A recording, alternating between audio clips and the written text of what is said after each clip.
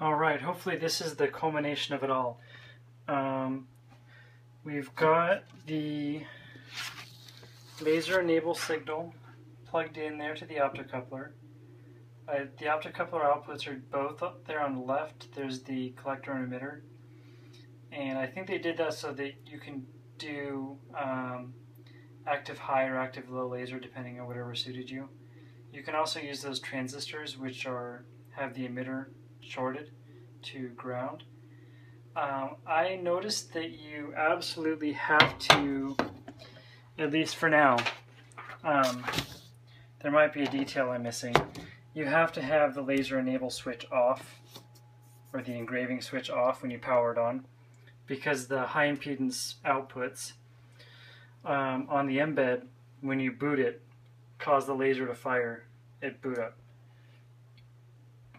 Um, which doesn't make a lot of sense to me. I might have that wrong, but it's not a good deal. So that's absolutely something that has to be fixed for safety. Um, but for now, you know, I just want to know if the laser's working. So we're going to do the same Hackaday logo. I've got a fresh piece of cereal box. You can see there, that's the um, the mark from when the uh, machine turned on and the laser started firing right away. And um, yeah, so I'm going to click execute again. We're going to download that same engraving and then try it out with the laser.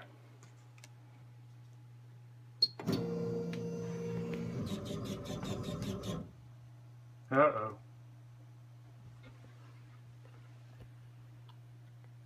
That is not a good sign.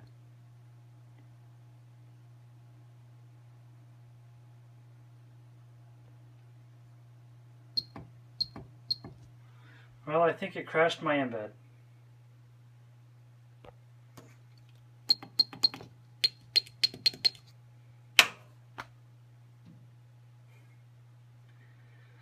Alright, well that's going to be a fun one to figure out.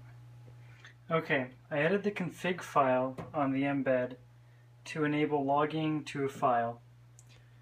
Um, I'm going to turn the machine back on and I'm going to try to etch that logo one more time and um, hopefully the logs can reveal something. Uh, my fear is that there's enough EFI or ground hash or some kind of a signal integrity issue going on with the power supplies that it's glitching the microcontroller, which sucks. Um, because the inputs and outputs are all either galvanically isolated. The motors, you know, don't electrically connect. The windings don't electrically connect to anything. The end stops are optocouple protected, and the only other connection with the machine is the laser output, which is optocouple um, protected. Means that um, I could power the the mbed on its own, just completely independent power supply.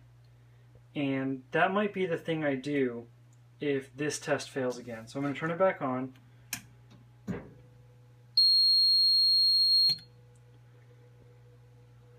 Let it boot, and then I'm going to try that image again.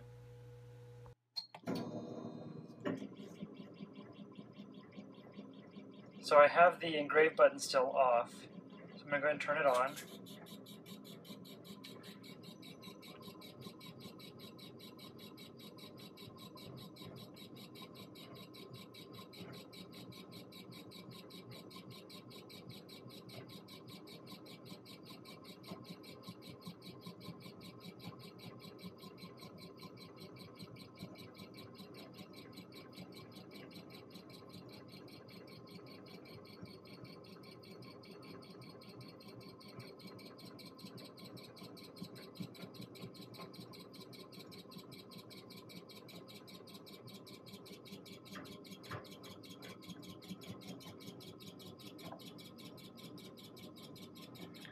Okay, so see how it's stepping there? The old controller was doing the same thing, but this time I can control the current and I can also um, control the acceleration and the speed. So I'm going to go ahead and cancel this because I don't have the fume extraction on.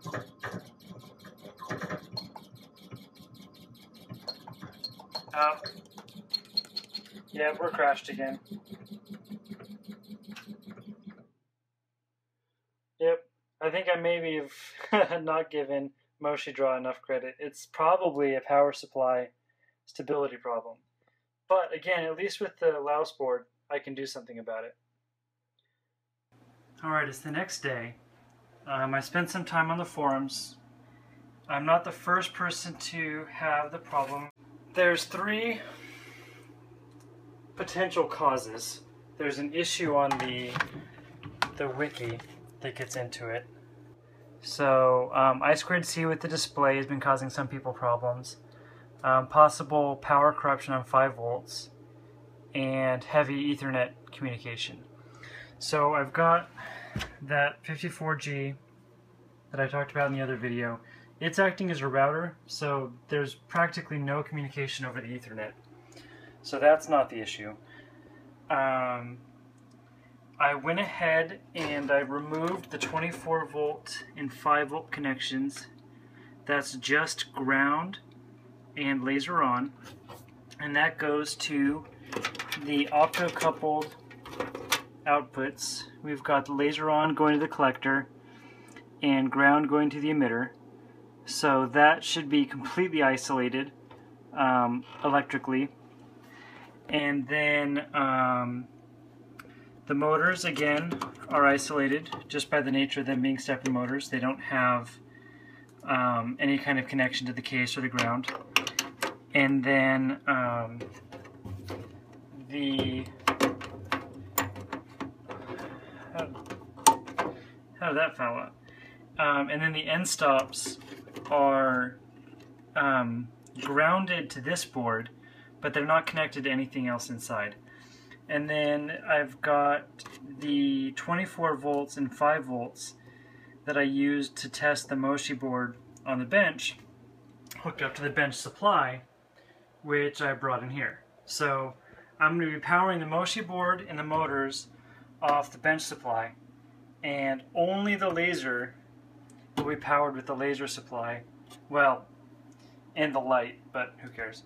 Only the laser will be on the laser supply with galvanically isolated control signal. So my hope is that we don't see any more of those problems. Um, I also eliminated, I took the I squared C display, I unplugged it, removed it from the loop, it's not plugged in over there either. So I've basically addressed all three of the problems and um, all three of the possible remedies. So, um, I'm gonna turn it on now. So let's do 24 volts, 5 volts. Okay. This uh, mbed is booting.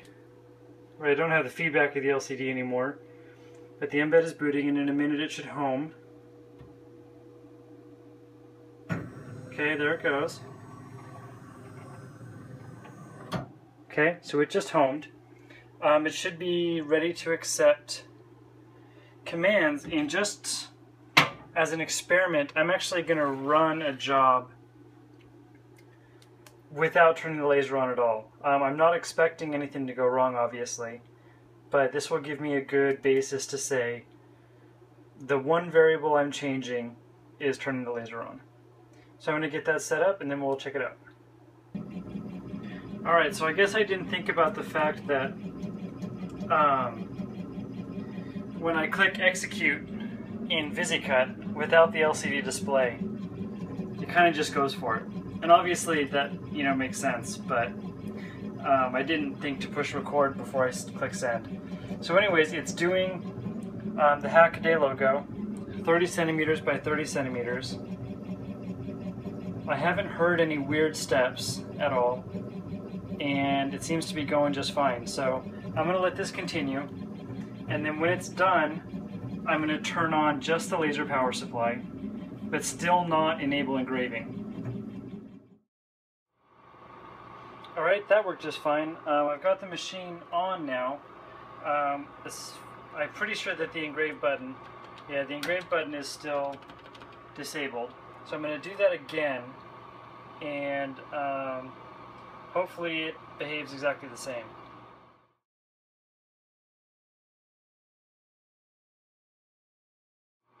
Now for real. Got the engrave on, laser works. Let's give her a shot.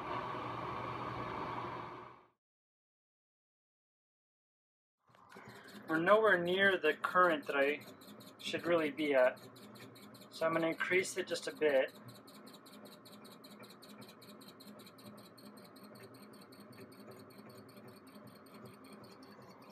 You have to be careful increasing the current while it's engraving though because um, analog meters do the average and if it's not engraving very much you can turn the current up during the average which would be too much when it's on.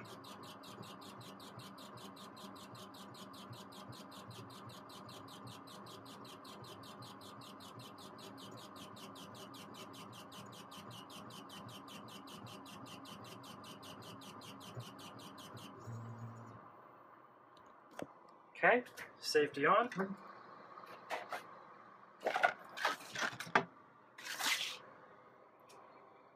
That is fantastic. I am absolutely ecstatic about that. So, one thing I can do though is test. Okay, so I'm actually getting decent. When I do the test, it's where it should be, but that's not a very deep engrave. Um, also, you can see the edges are darker than the center. And I think what's happening there is that um, the acceleration setting on the stepper motor going back and forth is um, it, the head is slower at the ends as it's starting to slow down to change direction. And so the laser is having more time on the material on these edges.